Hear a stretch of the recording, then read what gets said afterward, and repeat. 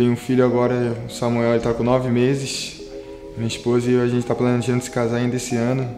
Então, para mim, eles são a base de tudo.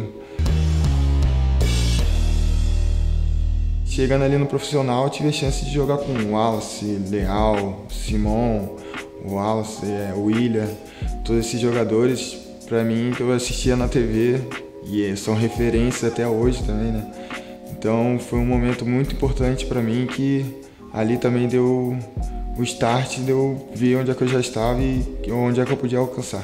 O meu primeiro contato com o vôlei foi na escola pública, com o professor Alexandre, quando você passa da quarta para quinta série, né, que agora acho que é quinto ano, não sei muito bem. É, você troca e começa a ter vários professores e esse professor de educação física começou a incentivar todos os alunos a praticar todo o esporte. E eu comecei a me identificar mais com o vôlei, foi aí que começou tudo. Brinquei de futebol até quando deu, né?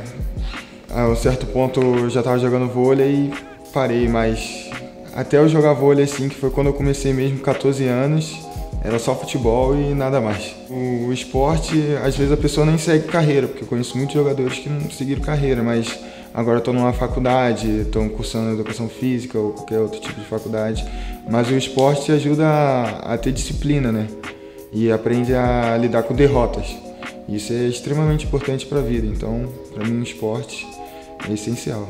Eu acho que é se manter regular, porque todos os jogadores sabem atacar, bloquear, sacar, mas o jogador que mais se destaca é aquele que tá, consegue fazer bem todos os fundamentos por mais tempo. Então acho que para mim assim eu tenho tentado bastante melhorar essa constância né, dentro de quadra, de não errar tanto, não fazer besteira. Eu acho que é muita força de vontade e se dedicar ao máximo porque todos que estão ali em volta querem a mesma coisa e vai se destacar quem quiser mais e fizer mais dentro de quadra, fora de quadra também.